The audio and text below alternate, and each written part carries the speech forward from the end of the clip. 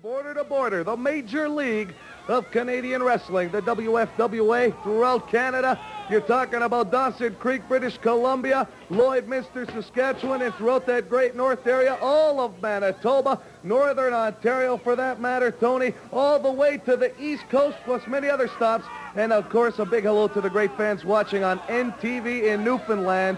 Some big fans out there of the WFWA in action like this like I, you know, the WFWA is going across Canada, and what I like to say hello to everyone, and I'd like to thank them for uh, watching the WFWA because the more they watch, as we know right now, our ratings are going straight up, Joe.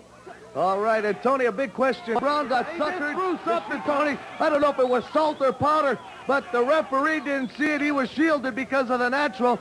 And you could be counting here, Tony. The referee's got to put on the count, though. Bulldog's holding on to his eyes, and it's all over. The big surprise happened. It was the Golden Sheik. Well, we knew.